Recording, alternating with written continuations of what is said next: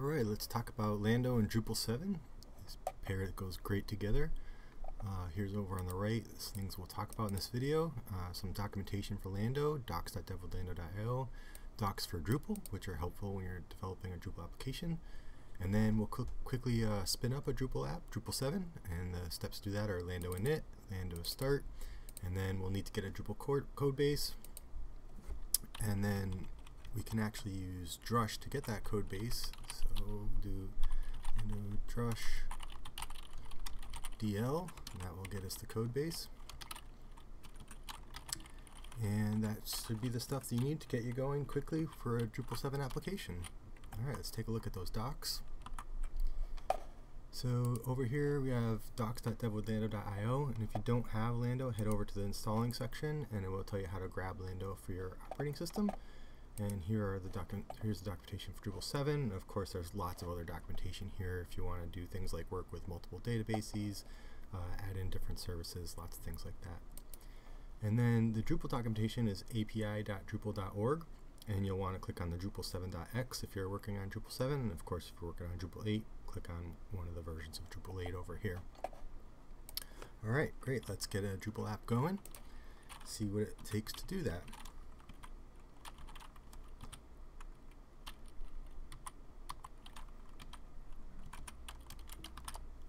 Alright, so the first thing that we're going to do is uh, if you just run the lando command, uh, you'll see uh, what kinds of things are available to you and what we're going to use right now is the init command to initialize a lando app following the same pattern as like git init or composer init.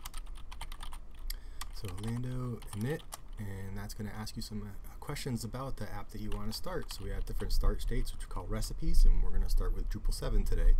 So select Drupal 7 the web root is relative to where you're issuing this command and we're just going to serve right out of here. In certain circumstances you might want to serve out of a subdirectory like public or web or whatever you want however you want to set up your app is perfectly fine. We have to name this app so let's call this lando e Drupal 7 so that's the name. Great the app's initialized and all that that does is create a .lando.yaml configuration file, which you can spin up by hand if you want, but the lando init command is a convenient way to get that going. So what the lando.yaml file does is just store the answers to that question, and of course we can add other things to that if we like. Um, so right now we have a name of the application, the recipe starting state, which is Drupal 7, and where we're going to serve the application from. So for example, you could put VIA in here and do Nginx. By default, it will uh, use Apache. So, But there's lots of possibilities that you can put in here to configure your .lando.yaml file, and you can read about lots of those things on the documentation here. Alright, so we'll save that. Let's just keep Nginx just for ha-has. And the next thing that we want to do is start this up, and that's going to get us uh, access to some tooling that Lando knows we need, or uh, makes a good assumption that we'll need uh, when we're using a Drupal app, which is in this case namely Drush. So we'll do Lando start, and as that goes by, you'll see what it's doing is Lando's based on top of Docker Compose, so it's spinning up all the containers that we need to develop our application, which is great because the application is going to be isolated from our local operating system. So one way to think about Lando is a dev dependency manager. So it's going to have all the things that we need to develop a PHP application or a Drupal application or whatever kind of application we're working on isolated uh, from the operating system and from the other applications that you're working on. So uh, if one application requires PHP 5.4 and one requires PHP 7.2, no problem. They're just in different containers and everything's good.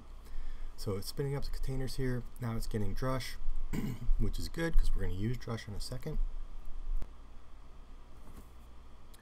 Okay, great. So now the app is up and ready to go. We got our Docker containers. The URLs have come up red here, and that's because uh, we don't have a Drupal code base. So let's remedy that now. Let's get a Drupal code base. So just like we did before, if you type just Lando, you see what's available to you. But now that we have a Drupal 7 app running, actually started, we have additional things that are available. We saw init before, but now we have a MySQL command, we have access to PHP, we have access to Composer, and we have access to Drush, which is what we're going to use right now to download a Drupal code base.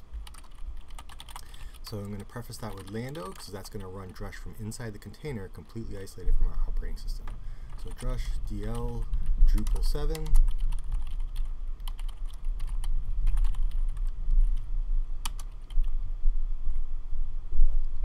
And that's going to grab a Drupal 7 code base for us. That's fantastic.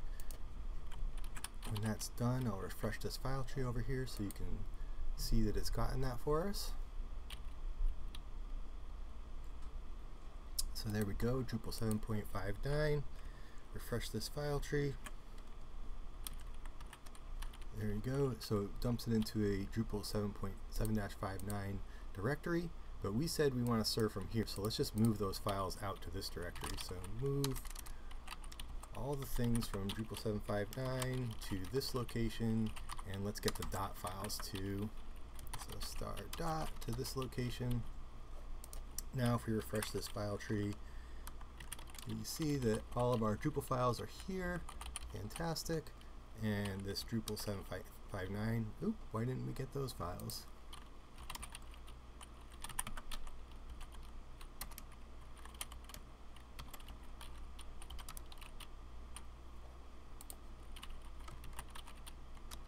There we go.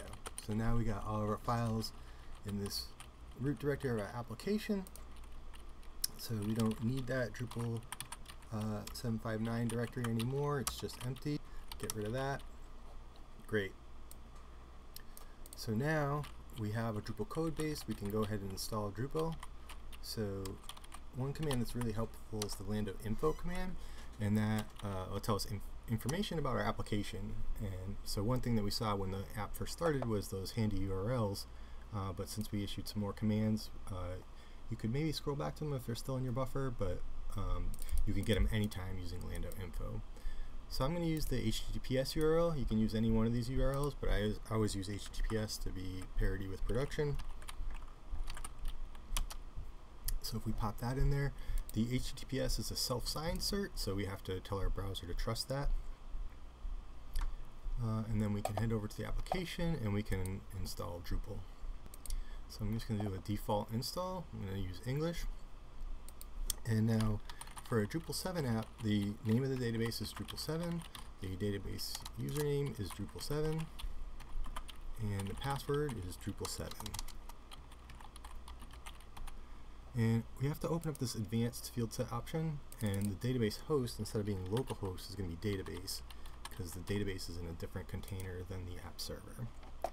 So open up that advanced options and change your database host to database when you're using Lando.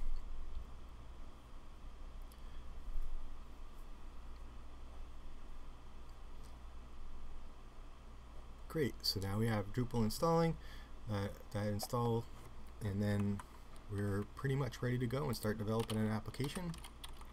You can use Drush like you normally would. You can, you know, download Path Auto, you know, Lando Drush DL Path Auto, um, do things quite easily with Lando, and then uh, just follow your normal development patterns and uh, enjoy your development workflows. I hope that's helpful to you. Um, great, have a good day, and if you have any questions, ask, hit us up in Slack.